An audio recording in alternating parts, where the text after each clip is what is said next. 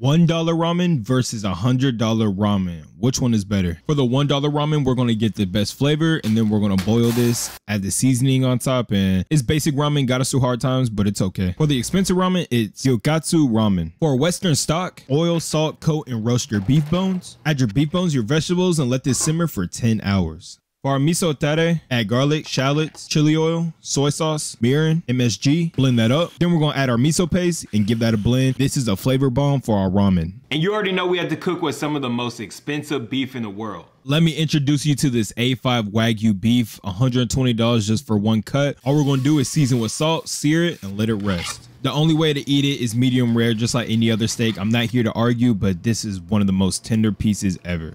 Now we're ready to assemble. Add your tare, add your beef stock, then we're gonna add in our cooked ramen noodles, top it with that wagyu. Now top it with a soft boiled egg, add some caviar to make this feel fancy, add some green onions to give it some color, top it with your nori. We're not even done. To make this feel more expensive, we're using pure gold. Then we're gonna add some truffle oil on top, dress that thing up, and we are done. Now, I don't know how much this will cost, but I know this is some expensive ramen. This was stacked with everything and paired perfectly. You already know this beat the $1 ramen, but it is expensive. So comment down below how much do you think this would cost at a restaurant?